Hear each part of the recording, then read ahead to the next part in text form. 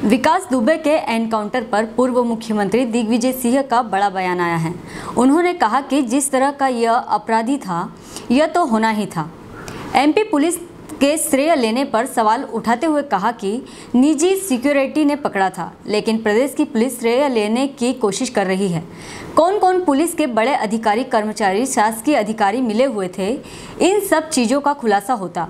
लेकिन ऐसे अपराधी का हसर यही होना था। भोपाल से ताहिर खान की रिपोर्ट। का इनकाउंटर हुआ है।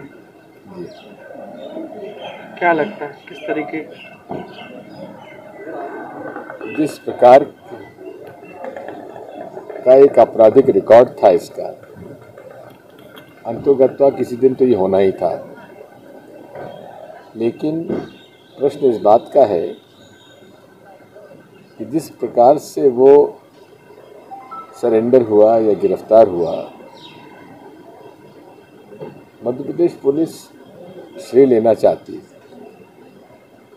लेकिन ये बात साफ़ है कि उसको सिक्योरिटी पुलिस, जो निजी सिक्योरिटी एजेंसी के लोग थे, उन्होंने उसको पकड़ा था।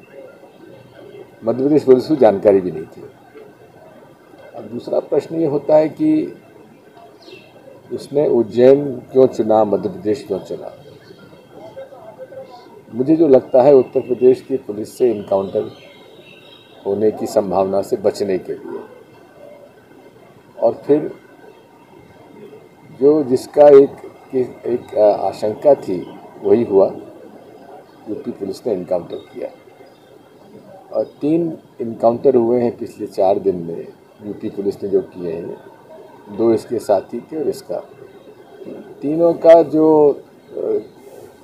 घटनाक्रम है वो एक सा है। जब व्यक्ति, ऐसे खुकार व्यक्ति गिरफ्त गिरफ्त में है तो उसे हथकड़ी क्यों नहीं लगाई जाती?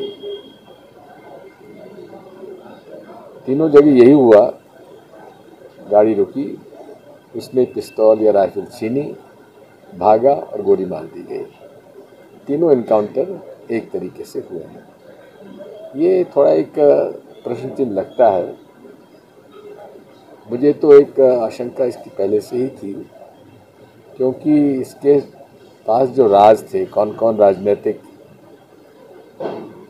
हस्तियाँ इससे जुड़ी हुई थी कौन कौन पुलिस के बड़े अधिकारी, कर्मचारी, पुलिसकर्मी इससे मिले हुए थे, शासकीय अधिकारी कौन मिले हुए थे, इन सब चीज़ों की का खुलासा होता है। खैर, ऐसे अपराधी का हर्ष तो होना था, यही हम खुश होना था। हेलो फ्रेंड्स आप देख रहे हैं हमारा channel S W twenty four news हमारे सारे वीडियो सबसे पहले देखने के लिए आप हमारे चैनल को सब्सक्राइब करें और पास में लगे बेल आइकन को दबाना बिल्कुल भी ना भूलें।